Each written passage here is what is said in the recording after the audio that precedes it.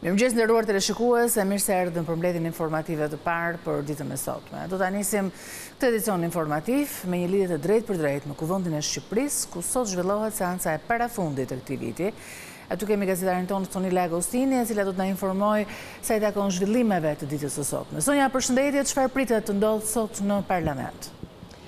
Mirëmëngjes Eda, mirëmëngjes teleshikuesve të rrjetit të Radio Televizionit Shqiptar. Kjo është seanca e parafundit e Kuvendit të Shqipërisë për këtë sesion të vjeshtës, pasi Parlamenti pas datës 21 dhjetor, që përkon me seancën e të enjtes së ardhshme, do të kalojë në pushimet gati 4 javore për ta nisur sipas rregullores së Kuvendit dhe Kushtetutës sesionin e ri plenar në rreth datës së 15 janar, siç është parashikuar e hëna e tretë e janarit pikërisht në dokumentet që përcaktojnë jetën dhe veprimtarinë e Kuvendit të Shqipërisë. Sot, në fakt, Parlamenti kishte të parashikuar ndër të tjera dy pika të rëndësishme. E para ishte shqyrtimi i protokollit dhe marrëveshjes që është firmosur në datën gjashtë nëntor mes kryeministrit Edi Rama dhe homologes së tij italiane Giorgia Meloni në lidhje me pritjen e emigrantëve që vijnë nga vende të treta në territorin e Republikës së Shqipërisë. Por, një vendim i beftë i Gjykatës Kushtetuese, e cila është vënë në lëvizje pas një numri deputetësh të Partisë Demokratike, ka vendosur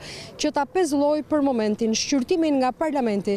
të dokumentit që pritet të ratifikohej në Kuvend gjatë ditës së sotme, pikërisht protokollit që i hapte rrugë ardhjes së migrantëve nga vende të treta në Shqipëri.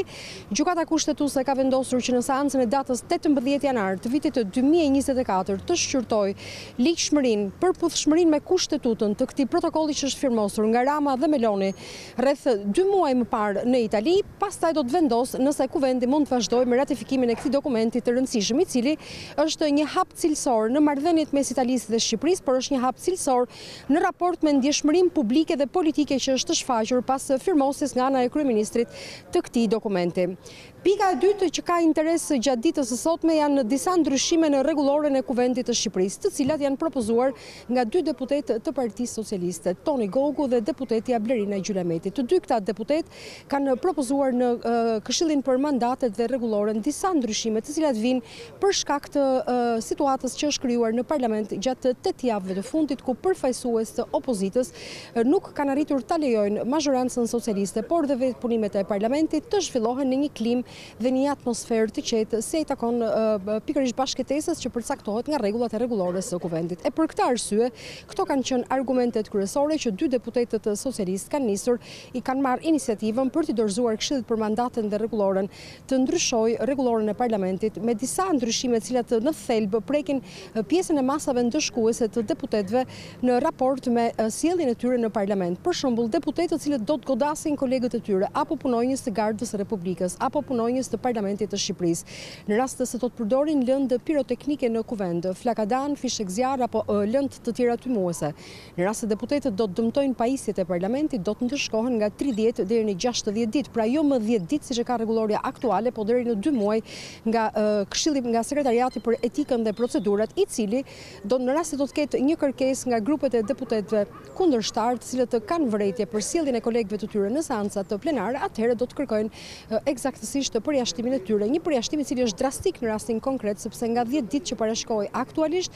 do të shkojë deri në gjashtëdhjetë ditë. Më duhet t'ju them se ndryshimi i rregullores së Parlamentit, shumicën e kohës në Parlament është bërë në mënyrë konsensuale, rregullorja e re e Kuvendit është miratuar në vitin dy mijë e katër, që prej asaj kohe është ndryshuar të paktën njëmbëdhjetë herë, kjo do të jetë hera e parë në rast se rregullorja do të ndryshohet vetëm me votat e shumicës parlamentare. Megjithatë, gjatë seancës së sotme plenare nuk ishin vetëm këto dy surpriza të themi, njëra e cila u ezaurua për shkak të vendimit të Gjykatës Kushtetuese, që lidhej me faktin se Parlamenti sot nuk do të votojë ratifikimin e protokollit të firmosur mes zotit Rama dhe zot dhe zonjës Meloni siç ju thashë dhe pjesës tjetër që ishte rregullorja e Parlamentit që është parashikuar në fund të agjendës së punimeve të ditës së sotme, por Parlamenti natyrisht do të shohim nëse do të kthehet në një skenë të zakonshme të përplasjeve mes deputetëve të opozitës kryesisht me punonjësit e Gardës së Republikës. Nuk ka patur që pas seancave të fillimit të nëntorit përplasje mes deputetëve socialistë dhe deputetëve demokratë për shkak se ju kujtoj incidentin që ka ndodhur mes Bledion Nallbatit dhe deputetit socialist Vullnet Sinaj. Njëri prej të dyve, deputeti opozitar u paraqit madje edhe në SPAK për shkak të akuzës që është ngritur nga grupi parlamentar i Partisë Socialiste se është goditur kolegu i tyre socialisti Vullnet Sinaj nga deputeti tjetër pikërisht në momentin e kryerjes së detyrës, siç ishte fakti se ndodheshin të dy në seancën plenare të Kuvendit. Megjithatë, Gjatë ditës së sotme, sipas një vendimi të Sekretariatit për Procedurat dhe Etikën, i cili është marrë me datën njëmbëdhjetë dhjetor, rezulton se shtatë deputetë të tjerë të opozitës janë të përjashtuar. Ata nuk do të mund të hyjnë në Parlament deri në fund të këtij sesioni. Bëhet fjalë për deputetët të cilët u bënë shkak për prishjen e seancës plenare, prishjen e situatës dhe atmosferës në seancën plenare të datës shtatë dhjetor të një jave më parë, në të cilën u votua dhe buxheti i shtetit për vitin dy mijë e njëzet e katër. Mes tyre është deputeti Ervin Salianji, është deputeti Asllan Dogjani, është deputeti Xhelal Mziu, janë disa deputetë të tjerë, Lefter Gështenja, janë shtatë deputetë të opozitës, të cilët sot nuk do të mund të hyjnë në parlament. Dhe nuk e di nëse ende vazhdon të mbetet në fuqi masa e përjashtimit për disa deputetë të tjerë, mes të cilëve Gazment Bardhi dhe Sali Berisha. Kështu që sot në oborrin e parlamentit ku janë pozicionuar mediat, të cilat në shumicën e kohës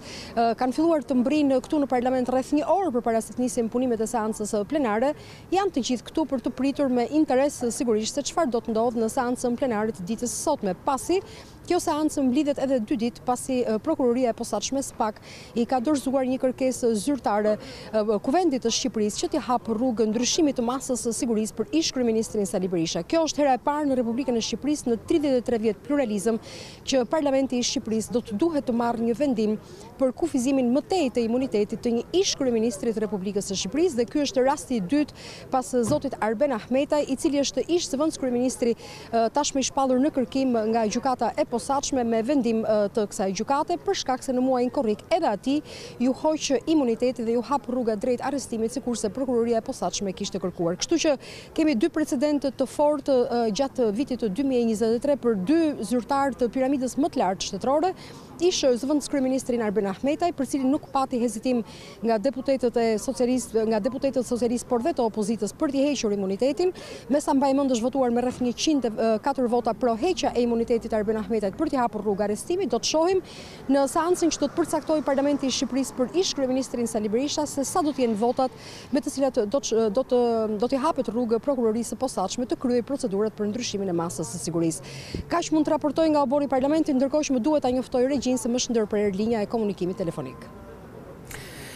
E kuptoj, në këtë pikë unë nuk pyes dot sa i takon protestës së shoqërisë civile, e cila ishte